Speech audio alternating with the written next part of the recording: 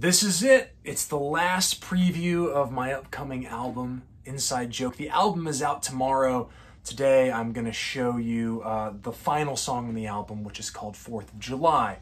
I am frankly exhausted now by the process of previewing these songs, so I'm really excited for this uh, to be done, but we've saved a good one for last. And it may be it's hard to say. I've become really fond of all of these songs as I've worked through them a few times, but I'm really happy with Fourth of July as a song, and I'm much happier with this recorded version of it than I uh, ended up being with the version I recorded in 2021.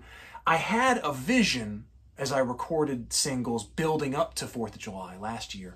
I had a vision in my head. I was like, I'm gonna like use a big muff fuzz pedal, and I'm gonna make this like really like chugging guitar thing that was like somewhere in between the modern rock radio, like Creed sort of sounds that I listened to a lot when I was a teenager, and then like the Smashing Pumpkinsy kind of sounds that I've listened to more as an adult. And um, in the end, I, I don't think I recorded that in a way that was like dynamic enough to really make that work. I like forgot the the basic tenet of using that kind of style. Um, and then uh, it so happened that right around the time that I recorded it, I did uh, just as an experiment. I was like, how would I play this acoustically if I was at an open mic night? And um, started practicing what I thought of as like a Goo Goo Dolls version of the song uh, that was slower and just acousticy. And I ended up far preferring that. So the the final version that you're going to hear in just a minute is like that. Uh, that more acousticy style, but I think it still has some power. In fact, I think it has even more power um, from being a little bit slower, um, and more intentional, maybe more dynamic, certainly. um, the, and the last thing I want to say is that um, I feel compelled to uh, to dive into one particular line in the song that some of you uh, may remember, but it's the kind of thing that like will pass by you in the song, and it, you may only have a vague memory of this, or maybe this is just a weird thing that went around um, the greater Houston area uh, when I was a, a preteen a young teenager. When I was in middle school, there was this trend. It's one of these like goad your friends into doing something self-abusive trends, you know, like the cinnamon challenge, right? But um, the trend was that it, you know, in the lunchroom, everybody would crowd around a table and just like peer pressure somebody until they took a packet of salt and poured it in the middle of their hand, and then put an ice cube in the center of their of that salt and squeezed it. And it was like, how long can you squeeze it? You know, and uh, it, it, started to hurt pretty quickly. Um, and most people then would like act rational, like they have a real survival instinct. They would just let go. Other people would hold on for longer and would like kind of burn their hands. That was the joke. uh, well, as I was thinking about images to use in describing uh, the act of remaining focused, almost like fixating yourself on something that bothers you, uh, I landed on the idea of uh, holding salt and ice. Um, and that's why that's the first line in the chorus. You know, it goes, Not tonight, but tonight it's salt and ice on my lips. That little bit. Okay. Um, that's all I've got to say about this. I, I love this song. I love this album. If you've liked what you've heard, Go check it out in full uh, tomorrow, September 2nd. But until then, this is the Playskool tape player that started all this nonsense decades ago. Decades, not quite decades, a decade and a half ago. Um, but here's the song. I hope that you enjoy it. It's the end of the last song.